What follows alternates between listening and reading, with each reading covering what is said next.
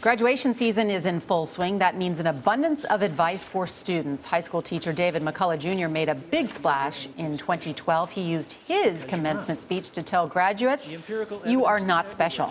He's expanding on that advice in a new book, and it's called You Are Not Special and Other Encouragements. Lee Woodruff sat down with the teacher to learn the meaning of this message. Lee, good morning.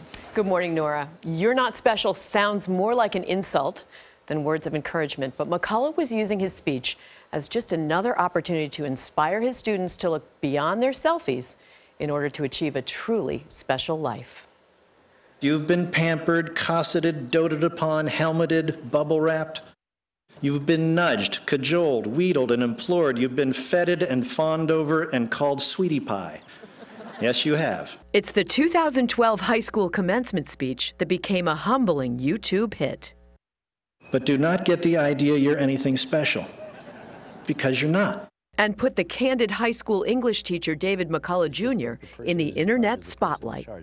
Where did the genesis of You Are Not Special come from? I pictured the people to whom I would be speaking. And uh, I envisioned them in the cap and gown, which said to me this ceremonial costume eliminates any individuality. They were on a literal level playing field. Uh, they would cross the stage alphabetically, not in order of class rank or some other distinction. All of which said to me, anything you might have achieved in the building no longer matters.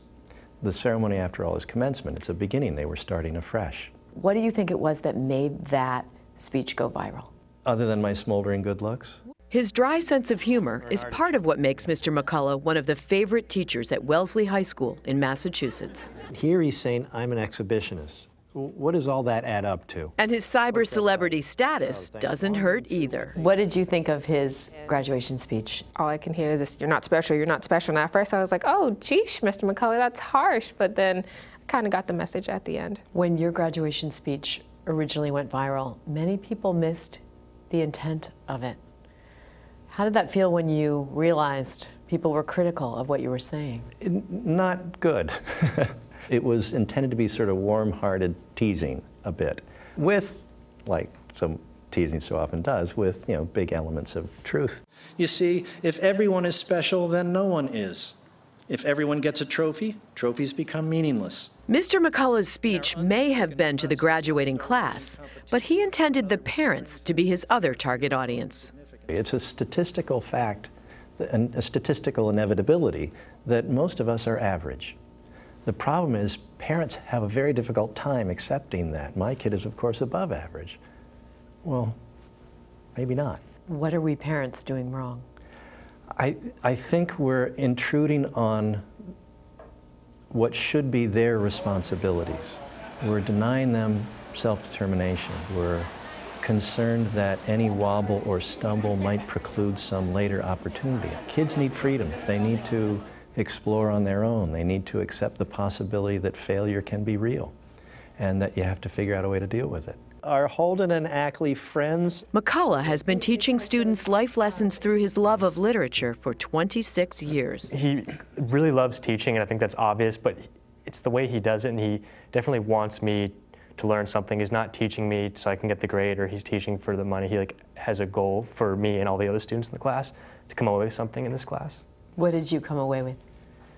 To you know, seize the day. It's he says at the end of every class, carpe the heck out of the diem. Mm-hmm. Do what you love because you love it. For the great and curious truth of the human experience is that selflessness is the best thing you can do for yourself. The sweetest joys of life, then, then come only with the recognition that you're not special, because everyone is. Is Mr. McCullough one of those teachers that just shapes kids' lives? Yeah, absolutely. Some of the most successful people in life point to a teacher that really changed the course of where they were headed. And it seems that you are that teacher for many of your students. How does that feel? Great. It feels great. It's the best job in the world. I can't think of anything more gratifying or fun. I, I get up every morning. I can't wait to get here. The essence of the book is an enlargement of enlargement of the speech. in fact, I have it right here. and a lot of wisdom. So he really expanded. That speech made such a giant ripple for everyone. I remember someone sending it to me. And he's that guy. He's really that great. He mm-hmm. loves those kids. He wants this all to go right for them. But now I think people really get the message of what he was saying, though. Those who missed it the first time now clearly see what he was doing. But Lee, you have kids. Can you imagine saying to your kids every day, "You're not that special. You're ordinary," just like it. I say that to them every day, Nora. Come on. Come on. It's a tough world out there, baby. Buck up. But that's different than saying "buck up." Yeah, you just But you if say you your kids, really "You're not special." listen to the, you're not special until you do something and, and become selfless. I love that Yeah, message. I, I do That's too. good. I get it. Go I beyond like it. Go David McCullough. Thank you, Lee.